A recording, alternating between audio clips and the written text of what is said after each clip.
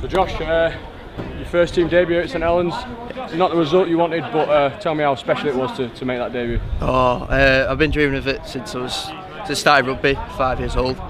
Uh, obviously, got I had my granddad in the club, so it's good to obviously share the heritage number with him.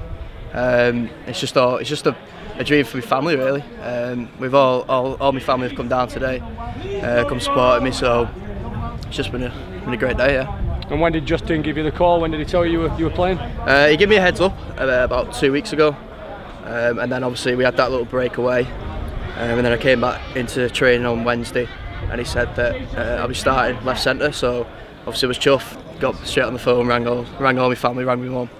Uh, they're all dead chuff for me. So yeah. And, and in terms of the intensity level, the, the, the level of standard from the academy Yeah. game, tell me that difference and how you found that today. Oh, totally. It's a it's a completely different game. Uh, you can last 60 minutes in academy without blowing once, and you can you'll be out two minutes and you're blowing. Um, obviously, I, I have had my time at Leigh, but Leigh are obviously top in the championship, so we've been on top of a lot of teams. So I have I have had that pace, but I've not had the London being aggressive at us pace, defending all the time. So I did I did struggle a bit for the for the 20 minutes, but obviously got that second win and was just buzzing to make my debut really. And obviously there wasn't just yourself, there was uh, Callum Hazzard, Josh Hughes as well who, Yep. who got on there. Um, you must have been pleased for them as, as, as mates as well as... Uh, Yeah, yeah, of course there was. There was we've, we've all been, obviously, the squad's been getting changed week in, week out. Play, one player coming in, one player coming out.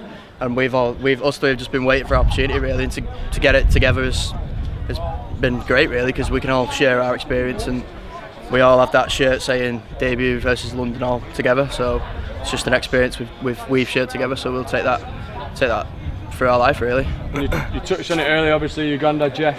Yeah. You'd be a, be a proud man today. Cheers. Yeah. Um, it, he, as he said, um, don't ever force anything. So obviously, I wanted to make my debut, but I was waiting for the right. Justin, me and Justin were waiting for the right time, um, and obviously to get a full 80 minutes is a dream come true. And uh, I know that it was it was his dream before he died that to watch to watch me play, um, which he never got to. But yeah, sure, sure, sure I watching. and uh, hopefully now some, uh, some more of this to come. Yeah, hopefully we'll just we'll just play it by ear. But obviously, I don't know where I'll be next week, whether it be Academy Leigh or you know, when I might get another shot. But I'm just grateful for for this opportunity, and if this is my only game, then I'm proud to have this one game, and then hopefully kick on for next year.